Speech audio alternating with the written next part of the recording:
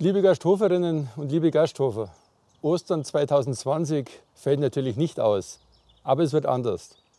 Was aber nicht fehlen darf, sind die Ostergrüße. Die Ostergrüße der evangelischen Kirchengemeinde und der katholischen Pfarreiengemeinschaft.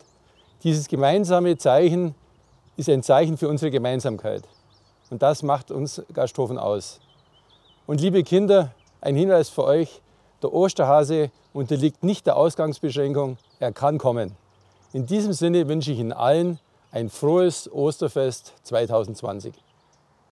Frohe Ostern!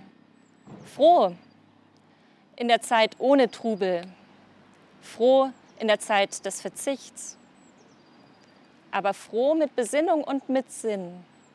Ich wünsche uns allen, auch und gerade denen, die gerade besonders gebraucht werden, dass wir zur Ruhe kommen und in dieser Ruhe Gottes Nähe spüren.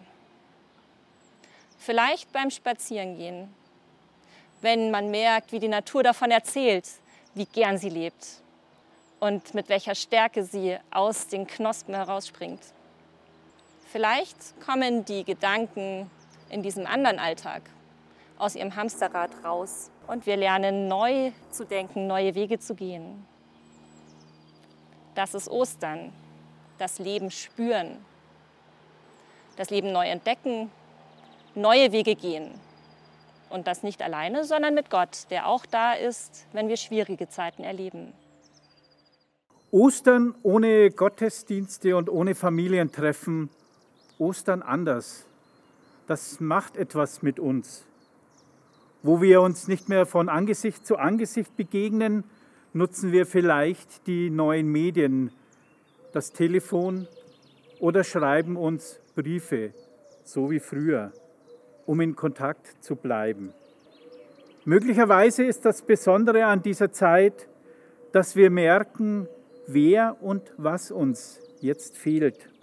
Unser Verstand, unser Gefühl, sie sind geschärft. Wir können dem nachspüren und es einordnen, welche Bedeutung unsere Beziehungen haben. Wir wünschen Ihnen gerade jetzt, dass viele Menschen an Sie denken, die Ihnen Halt geben. Menschen, die Sie lieben und denen Sie vertrauen. Seien Sie gewiss, dass Menschen Ihnen in Gedanken nah sind, vielleicht auch für Sie beten und dass Gott für Sie da ist, weil er Sie liebt. Wir wünschen Ihnen Ostern anders, aber gut. Wir laden Sie ein, nutzen Sie die Möglichkeiten zum Seelsorgegespräch in Ihren Pfarrgemeinden, in Ihren Gemeinden. Nutzen Sie die Möglichkeiten von Caritas, von Diakonie und der kommunalen Fachstellen für eine Beratung, wenn es mal brennt, wenn Sie es brauchen. Wir sind für Sie da. Wir wünschen Ihnen Hoffnung machende Ostern.